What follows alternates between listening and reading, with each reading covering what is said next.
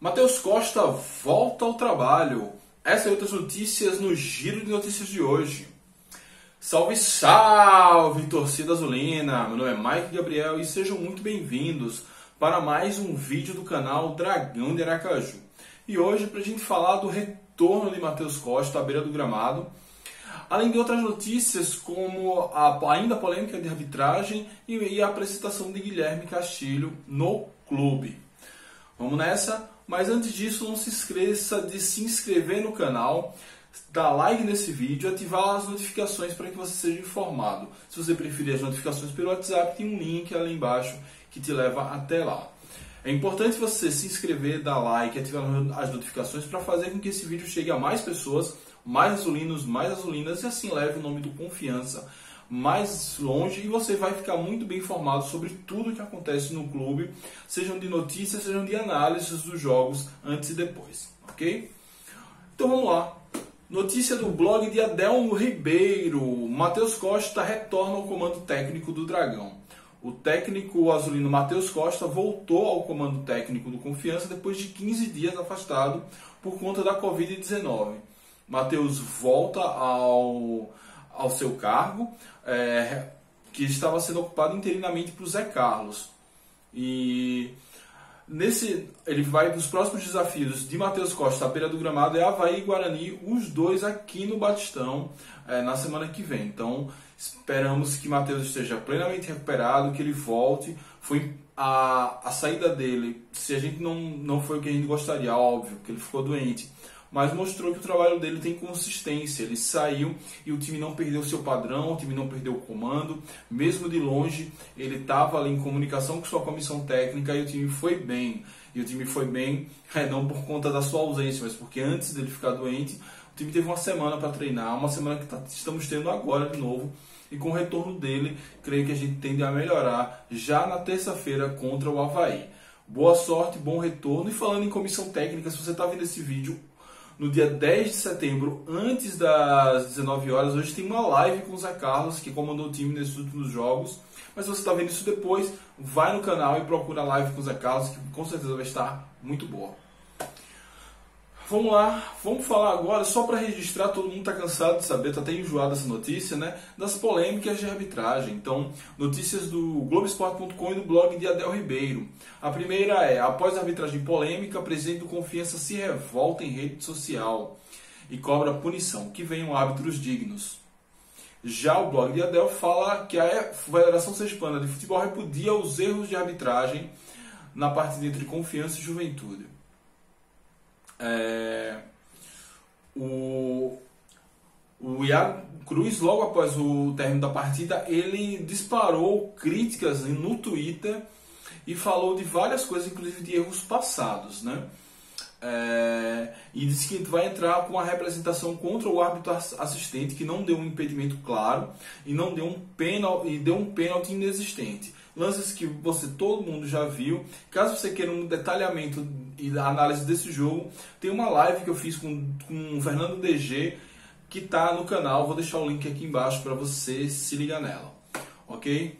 Mas vamos lá. Abre aspas para Iago Cruz. É importante reforçar. Opa, desculpa. Abre aspas para Iago Cruz. Contra o Paraná, pênalti não marcado a nosso favor. Contra o Cruzeiro, pênalti não marcado a nosso favor. Agora, dois gols de forma escandalosa. Até quando, até quando CBF? Teremos esses incompetentes apitando. Pistolou Iago Cruz e ele está corretíssimo. A gente precisa jogar uma pressão na arbitragem com dados, com fatos. É, e aí talvez a gente entende tanto porque André Moritz toma tanto amarelo, porque realmente se não botar pressão na arbitragem a gente vai ser prejudicado jogo após jogo. Já a Federação Sergipana de Futebol fez uma nota direcionada à CBF, a qual ela conclui. É importante reforçar o máximo respeito e admiração que a Federação Sergipana de Futebol tem pela Confederação Brasileira de Futebol, bem como por todo o quadro de arbitragem brasileira. A Federação Sergipana de Futebol aguarda que os responsáveis pelos erros sejam devidamente punidos e que as falhas sejam minimizadas para o bom andamento da Série B e que nenhum outro clube tenha, o seu, tenha seus planejamentos, metas e caminhos alterados por interferência direta da arbitragem. Boa nota da Federação Sergipana de Futebol, você pode ler ela completa no blog de Adel Ribeiro, vou deixar também o link aqui embaixo para você conferir. E é isso, né? A gente espera que o árbitro ele seja punido com a punição, claro, ele errou, precisa ser punido, mas principalmente que se for um erro técnico, ele seja reciclado, que ele veja o vídeo, que ele passe por uma por uma reciclagem, né, por um curso, alguma coisa. Eu não sei como é que a CBF trata com isso, porque também assim, punir por punir para nos vingar, não vai devolver os três pontos para a gente, não vai devolver o empate que seja para a gente. Então, é, a gente espera que a comissão de arbitragem esteja atenta para aos poucos melhorar o nível de arbitragem que o confiança, que, confiança, que, a, que o Campeonato Brasileiro precisa. E aí eu, olhando os jogos da Série B, eu percebo que a arbitragem da Série B ela consegue ser pior que a Série C. Eu não sei exatamente qual o motivo, entendeu? Não sei se é a pressão, se a TV ali transmitindo o tempo todo joga uma pressão adicional, mas os erros de arbitragem de ambos os lados para todos os jogos são absurdos. A gente listou aí os erros que nós sofremos mas não cabe custa lembrar que o André Moritz era para ter sido expulso do jogo contra o Vitória e o árbitro simplesmente não marcou nada. Então, deu um simples amarelo. Então, é um erro, os erros de arbitragem, talvez para a gente que seja um novato na Série B, pesem mais, na hora da dúvida eles sempre tendem a andar para a gente, mas os erros estão acontecendo por todos os jogos e a arbitragem precisa ser revista, reciclada e melhorada.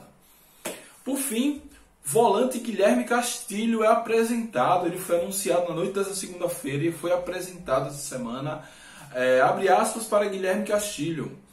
Comecei no sub-15 do Vila Nova de Goiás, depois com 16 e 17 anos fui para o Mirassol, onde eu fiquei 3 anos, apesar da pouca idade, eu já tenho quase 50 jogos pelo profissional do Mirassol no Paulistão e Copa Paulista.